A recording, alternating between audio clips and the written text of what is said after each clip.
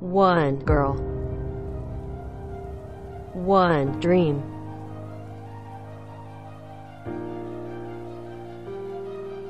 To represent her country.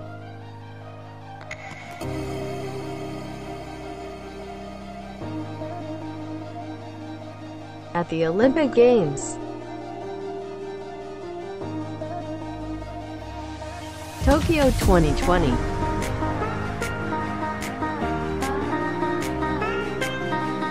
Is where her dream.